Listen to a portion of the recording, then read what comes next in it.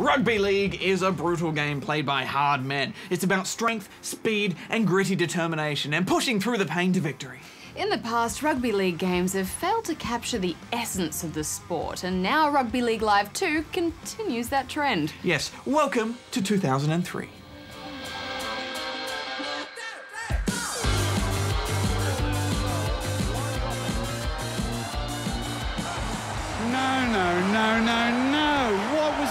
He thinking? He's beaten one! He's beaten two! As the great Elvis Presley once said, home is where the heart is. Mm, not easy on the eyes, is it? Coming from something like 2K13 and its beautiful graphics to this is a bit jarring. However, there have been some improvements with this Rugby League Live, and mainly around the controls. Yes, well, let's look at attack and defence first. To attack, you pass with the left and right bumper buttons. Holding one of these buttons down plus a modifier button will send a cut pass to a wide receiver. For hit ups, using the right thumbstick will help you fend and break tackles, while sprint is assigned to the right trigger. The A button was used for both these functions in the previous game, which was a bit awkward, so the change is welcome. Yeah, and it just feels more natural now. In defence, you have three tackle options a standard round the legs tackle, a dive tackle for desperate measures, and a hard hitting ball and all tackle, which can result in knock ons or head high tackles. Comes up with a high tackle. Sloppy tackle.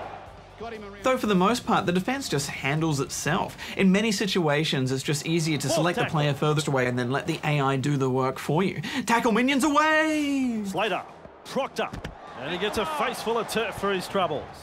There's also a handy new training mode to help you get your head around this control system. Beginners will definitely want to hone their kicking skills before heading into a match. While you scramble to get a kick in on the fifth tackle, you don't want to be fumbling with the buttons. Last tackle play was a little disappointing. Agreed. And once you've sharpened your skills offline, it's time to go online, of course. And we found quite a few matches with decent connections, but there are already a few exploits that people are using. Surprises us all with a short kick. And they've managed to get to the ball. Dashes through the line. He's tackled there, but he's made good ground. This kickoff and recover method is pretty much unbeatable once perfected, and it's things like that that just ruin the sportsmanship of a match, Hex. Yes, but the game's biggest fumble is its painfully stilted gameplay. I mean, the animations are so rigid, and nothing looks remotely natural. Even the cheerleaders are terrifying.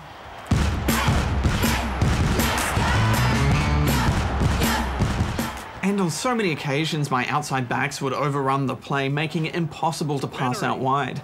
Front on defence. And that's particularly frustrating when you have a one or two man overlap and end up throwing a forward pass because of lousy AI. I think the most interesting way to play is through the game's career mode, which is actually new to this series. It adds an extra layer of strategy. Sponsorship and bonuses affect how much money you can spend on training your team, and injuries can make matches a little tougher by having to play without your stars. Every match feels a little bit more important, and you start to care a bit more about the results. Yeah, I am glad it's there, Hex, but essentially it just adds four button presses in between each match, and after a few rounds I abandon it. It just doesn't have the depth of, say, FIFA's career modes. There is some fan service here, though. You can choose a heritage jersey for your team, and if you squint hard enough, you can make out the player likenesses. A great result.